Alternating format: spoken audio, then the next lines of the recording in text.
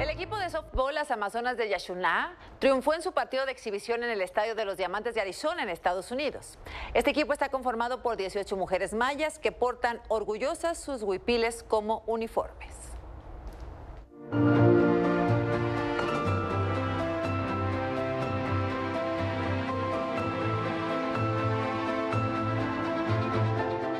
Son las Amazonas de Yashuná, equipo de softball yucateco que ayer derrotó a las Falcons de la Universidad del Valle de Phoenix durante un partido de exhibición en el Chase Field, estadio de los Diamantes de Arizona de las Grandes Ligas.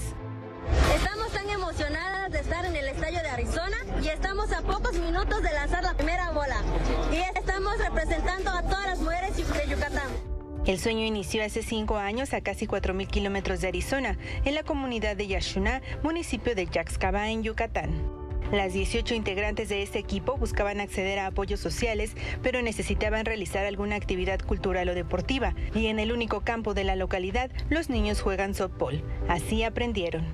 Si te da un pelotazo, pues no pasa nada. Eso de por sí, nosotros siempre aguantamos los golpes. Todas son mujeres mayas. El español es su segunda lengua. Juegan usando huipiles como uniformes para resaltar su origen indígena. La mayoría son amas de casa y asisten a los entrenamientos después de terminar con las tareas del hogar. Actualmente reciben apoyo del gobierno de Yucatán.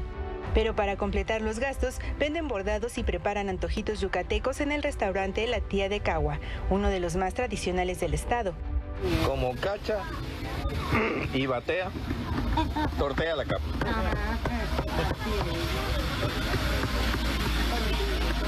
¿A los cuántos años, a los cuántos años aprendió a tortear, Capi, usted? A los nueve años. Nueve años, ya sabía hacer eh, tortillas. Así, cualquiera de mis aficionados que vengan, así les voy a tortear para que coman. Pues, Las Amazonas seguirán enfocadas en mejorar su juego para viajar y participar en más partidos. Azucena a las 10.